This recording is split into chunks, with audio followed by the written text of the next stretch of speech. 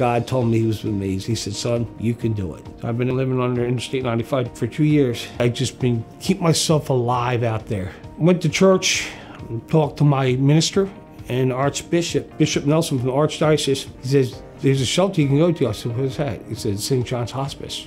The first time I walked, walked through that door, I knew I was going to be saved. I was going to get showered. I was going to get fed, all cleaned up. Now, the next chapter of my life, Monday, I start my new job. I feel pretty good now. I can get out, work, get my life situated. Well, without St. John's Hospice, I would be still out on the street right now. I am so grateful for what they did, helped me out. Because of your support of the Catholic Charities Appeal, over 180 beneficiary organizations and programs can continue providing essential, life sustaining services. Please give generously to this year's Catholic Charities Appeal.